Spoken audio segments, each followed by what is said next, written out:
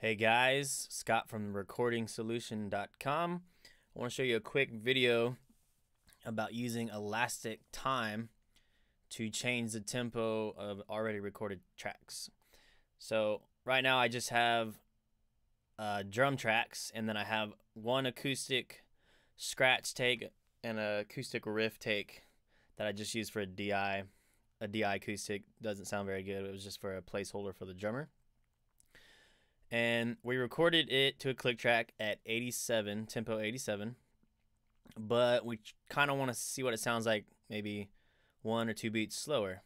But the problem is we already recorded it and the drummer is, is gone. So what to do is we use elastic audio. So um what you got to do is so let's highlight the tracks kick snare all the way down here and I'm going to do acoustic and the acoustic riff. So we need to enable what we call elastic audio.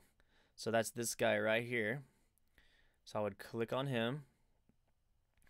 And now we have all these algorithms. And what do they mean? Polyphonic means anything that has more than one note, like a piano.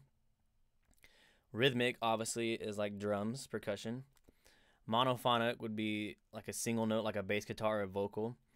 And then Varispeed would be similar to like tape, where if you sped it up, the pitch would go up. And if you slowed it down, the pitch would go down. So it messes with time and pitch. So for the drums, I'm going to do rhythmic. So that's rhythmic, rhythmic. Let me make sure they all did it. Hi hat, rhythmic. And then for the acoustic, I had the all button here on, so it changed them all. For the acoustic, I'm going to do, oops, change it to polyphonic because I'm playing chords, so there's more than one note. And then for the riff, it's just uh, single notes. It's like a little guitar riff. So I'm going to do monophonic. Um, and then here's where people get confused by default, uh, audio clips like audio re- any audio information is set to sample based, which is set to the minutes and seconds of the session, and anything uh, instrument or MIDI is, is tick based, and that is set to the bars and beats. So I want to change it to tick base for this, okay? Because we're dealing with tempo changes. So I'm to hit Option and change it all to ticks.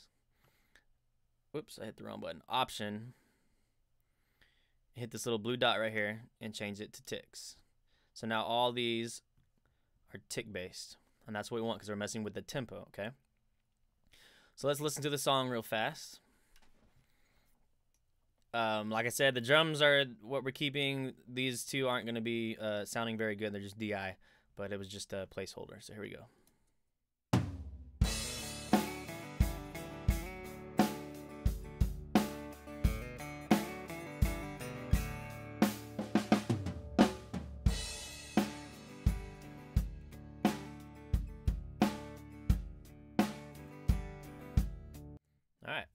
So we recorded that to a click track, like I said, at 87. So I'm going to change the whole uh, session's tempo. So I have it all set to rhythmic and polyphonic and monophonic elastic time and set the tick based. And so I just go up here. Now, this was enabled, this is your conductor. You wouldn't be able to mess with changing the tempo. So I had to undo that when I started the session and set my tempo by clicking right there and typing it in. So I, I wanted to do it like one or two bars slower to see what it sounded like. So all I would do was highlight that, and, and that's 87, so I would click 86. Enter. So now it's one beat slower.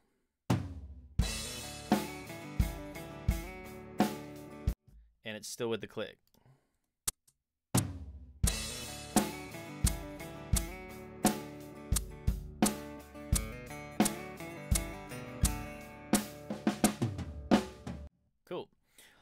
Now, one thing you want to be careful about is if you do drastic tempo changes, if you're trying to slow it down a lot or speed it up a lot, you could run into um, phasing issues, uh, very obvious audible phasing issues. So be careful.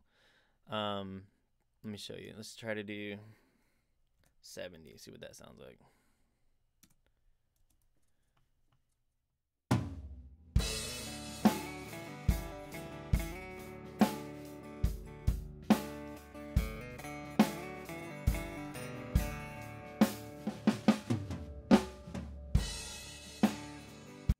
Obviously, that's way too slow.